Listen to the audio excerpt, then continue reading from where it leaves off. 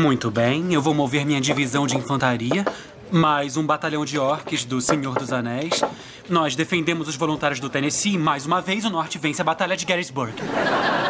Não tão rápido. Lembre-se que o Sul ainda tem duas divisões de infantaria, mais o Superman e o Godzilla.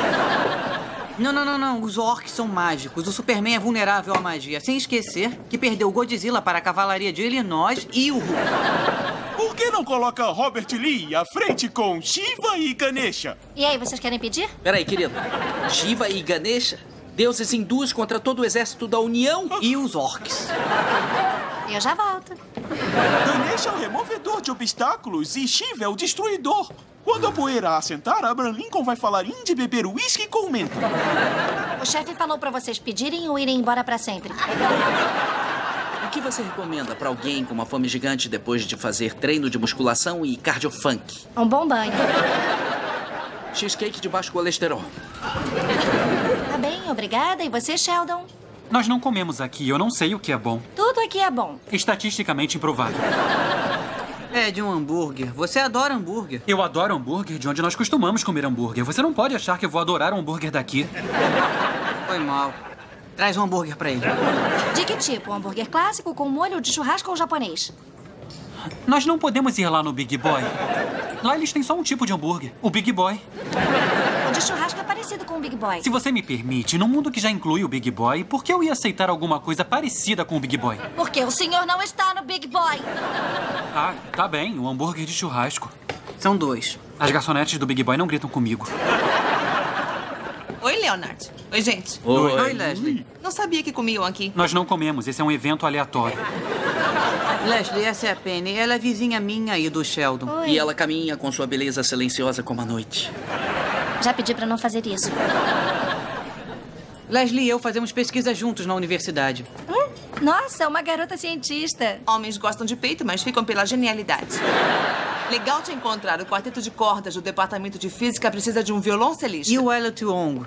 Ele mudou sua área de pesquisa para alta radiação, sofreu um pequeno acidente e agora o pessoal não quer ficar perto dele. E aí, tá dentro? Claro, por que não? Ótimo. O ensaio é às terças na sua casa. Por que na minha casa? O departamento de energia acha nosso local de ensaio meio explosivo. Foi um prazer. Igualmente. Leonard, não sabia que você tocava violoncelo. É, meus pais acharam que só por me chamarem de Leonard e me pôr em turmas especiais eu já não seria zoado o suficiente. Já que gosta de música, eu sei fazer percussão vocal. É mesmo?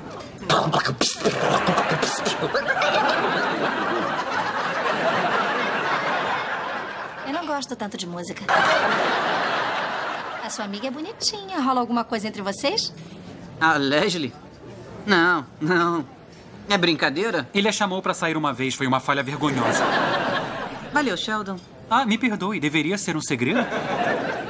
Ai, que chato. Vocês iam fazer um casal fofo. Oh, droga. O que foi? Ela não anotou meu pedido. Como vai anotar seu pedido se tem medo de falar com ela? Isso não importa. Ela vai ficar sem os 10%. O que a Penny quis dizer com vocês iam fazer um casal fofo?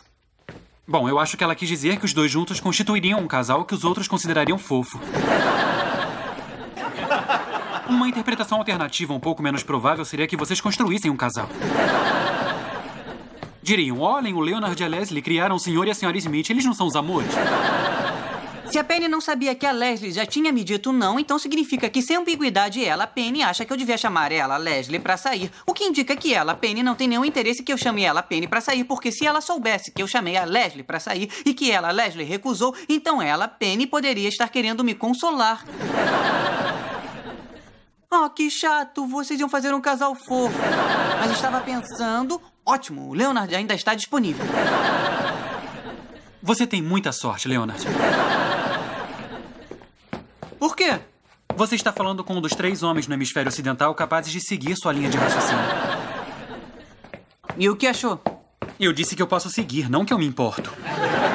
No início o universo era denso e quem